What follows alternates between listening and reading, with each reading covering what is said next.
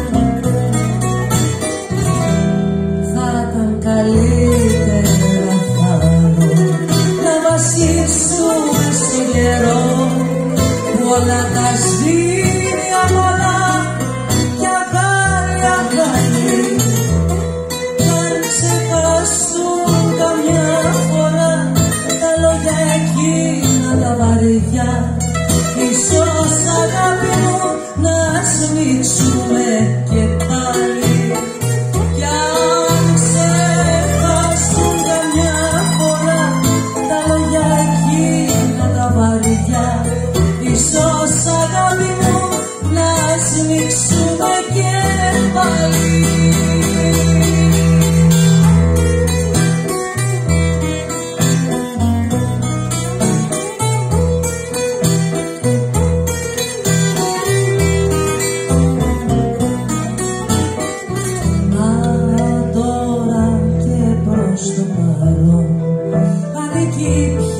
στο παρελθόν. Ο ερωτάς μας που μας έχει βασανίσει.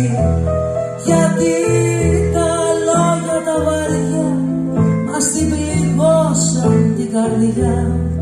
Και κινδυνεύει η αγάπη μας να σβήσει. Γιατί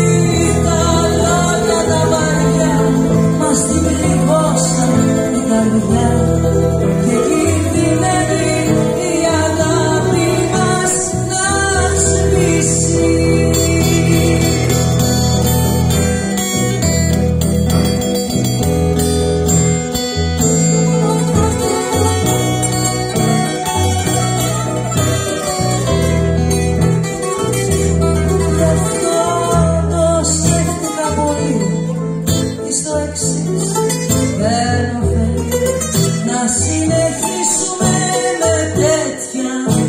ζωή μας.